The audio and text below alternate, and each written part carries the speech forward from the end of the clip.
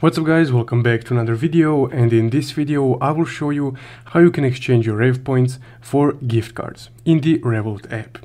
So let's get started. Now first off, once you open up your Revolut app, you will be on your home page. So to check your Rev points, you would need to go to the Rev points tab in the bottom right corner.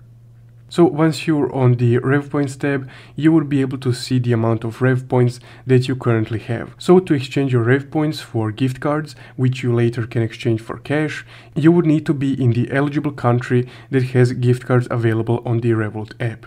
So if you're eligible, you would be able to see the gift cards option under the products tab, which would allow you to tap on gift cards and then exchange the set amount of Revolut points for a certain gift card. So there are gift cards ranging from Starbucks to Uber and more. So depending which service or product you prefer, you can exchange your Rev points for a gift card of that company. And later, if the company allows it, you can exchange those gift cards for cash. Also, if you would like to know how you can order your Revolut card, you can watch this video right here. So essentially guys, that's how you can exchange Rev points for gift cards on the Revolut app. If you found this video helpful, don't forget to leave a like and subscribe. Thank you for watching.